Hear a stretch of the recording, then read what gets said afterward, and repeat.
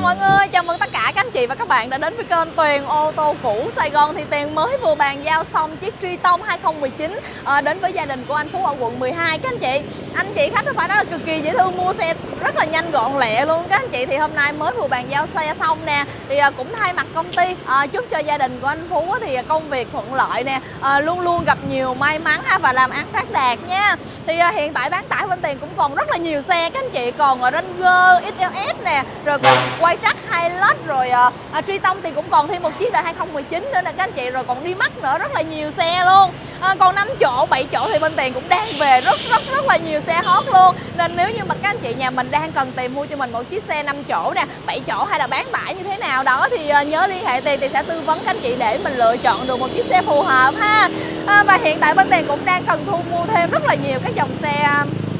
5 chỗ, 7 chỗ bán tải, 9 chỗ, 16 chỗ khác nhau nha. Nên nếu như mà các anh chị nhà mình có một chiếc xe nào đó mà không sử dụng tới nè Thì bán lại cho bên tiền đi hoặc là muốn lên đời đổi xe hay như thế nào đó thì liên hệ tiền thì sẽ hỗ trợ các anh chị nha à, Rồi thì cũng ờ, cảm ơn tất cả các anh chị và các bạn đã luôn tin tưởng, yêu thương, ờ, ủng hộ kênh ờ, Tiền ô tô cũ Sài Gòn trong thời gian vừa qua nha. À, Nếu mà thấy thích thì hãy cho tiền xin một like và một lượt đăng ký nha. Ấn vào biểu tượng chuông thông báo bên dưới đi để những cái uh, xe nào mà mới nhất bên tiền về nè uh, Tiền đăng lên thì các anh chị sẽ là người đầu tiên xem được nha. Và bây giờ xin chào và hẹn gặp lại tất cả các anh chị và các bạn ở những video tiếp theo.